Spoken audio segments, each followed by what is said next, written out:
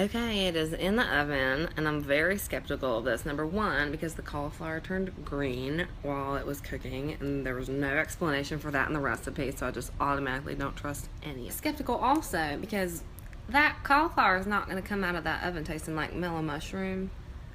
Uh, like vegetables and bread are just not the same thing. So I put about four times the amount of oregano that the crust recipe even talked about. now I'm just sitting here waiting, and my whole house smells like a farm because that's what cauliflower decides to smell like when it is boiling in water and turns green. I just I'm just, I just don't think this is gonna be good. All right, back in the oven to melt all that string cheese. And I just really hope that this is one of those situations where we can all look back and be like, wow, Amanda was being dramatic for nothing.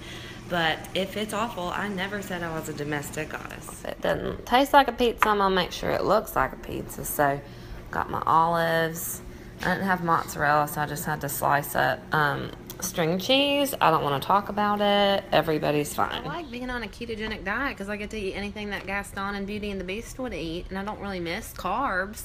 But it's just one thing to make, you know, fake bread out of cauliflower. I just, I think I should stick to the bacon and okay.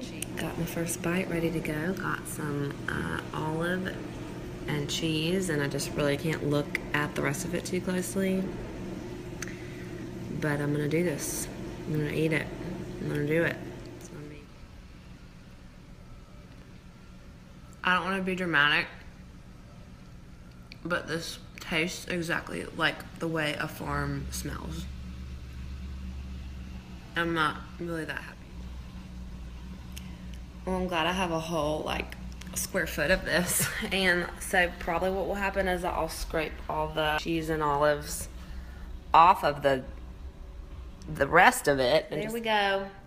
Not good, but I don't like cauliflower anyway, even if you put a pizza on top of it, I guess. So, Pantry Doctor, have you got some tips for me that makes it taste like buffalo chicken, like that one thing you. Mm, I tried another bite. This is just not going to be my thing. I'm just going to wait until I can eat real pizza in a couple weeks. So, over and out. One more thing.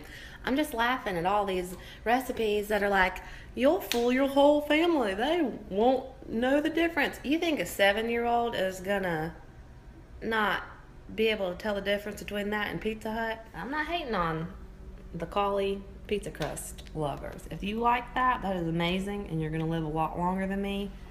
And good, keep doing that. But I'm this is just somewhere where I'm gonna have to take an L